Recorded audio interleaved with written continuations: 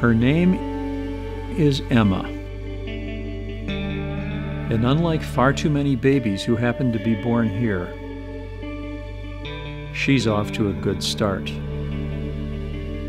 Emma's mother knows exactly where to go when her baby is sick. She can be confident that this HealthStore clinic in Nairobi will provide high quality care. Elsewhere, that's just not the case. In Kenya, as much as 50% of the medicine available is counterfeit, substandard, or clinically inappropriate. Sometimes the drugs are legitimate but are the wrong treatment for the disease.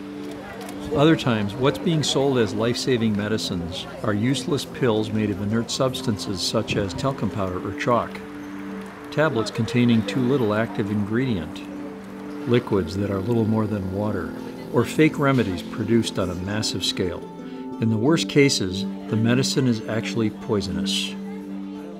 The result? The needless suffering and sometimes death of the world's poorest children.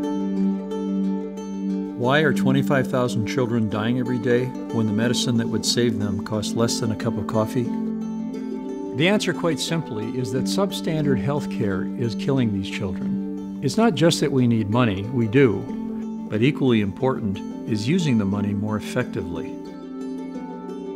We're developing a new and better way to help these children. It's a franchise system. It's a little bit like Subway or McDonald's, only these are medical clinics run by nurses, and they concentrate on the short list of most common killer diseases and maternal and child health problems that most afflict children.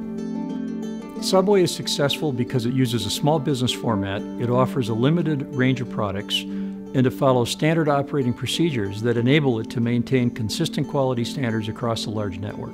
This is exactly what we're doing in Kenya.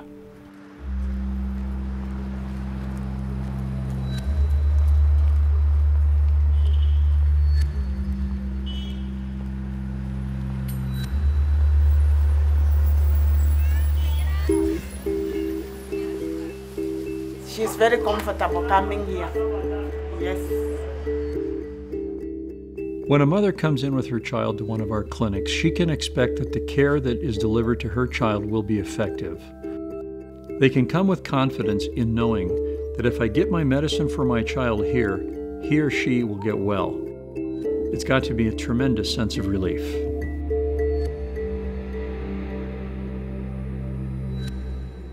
If you could wave a magic wand across the whole developing world and wish for just one thing that would do the most for children's health, you would wish that all the medicine that goes down all the kids' throats would simply be real.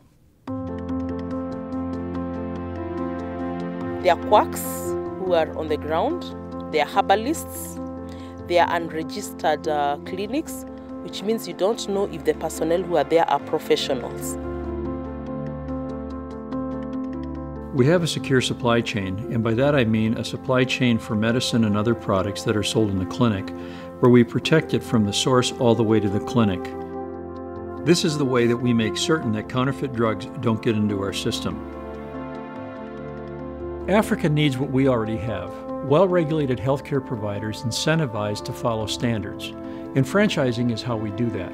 HealthStore has put up a clinic where there is no clinic, where there is no organized professional services, ensuring that there is health for all for a healthy nation. That is Kenya. The franchisees that we have now must be registered nurses with five years of experience. Sometimes nurses will make house calls. We'll go to the school and the franchisee nurse will screen all the children for worms. They'll teach them things like hand washing and how to purify water. We have various marketing programs and marketing collateral, and we train people in marketing. So when a professional like a nurse has an opportunity to own her own business rather than just being employed by someone else, say in a government clinic, for certain entrepreneurial types, this is a very, very big thing.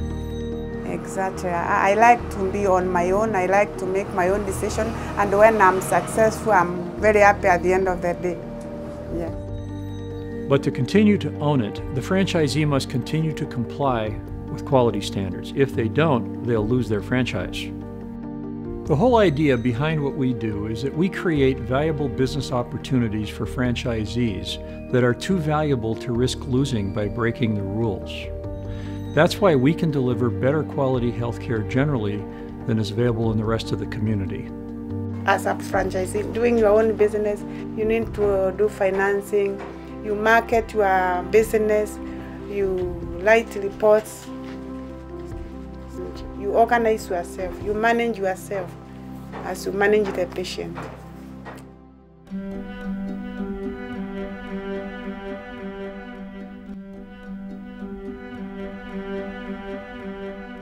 Mothers in Africa are exactly the same as mothers everywhere else in the world. They want to do the best thing that they can do for their sick child. This is a disruptive innovation. It's very different than anything else that's being done. If we expect to get the results that Subway gets with 36,000 locations around the world, we need to do it the way they do it. The single most valuable thing that we who are in the business of trying to help the poor with health care can do to put a smile on the face of the moms is to do franchising well. Your contributions, your interest, and your involvement can help us deliver healthcare differently and far more effectively in the developing world. We want to, and together we can, reach millions more children like Emma. Please join the conversation call, or contact us online. Visit healthstore.org.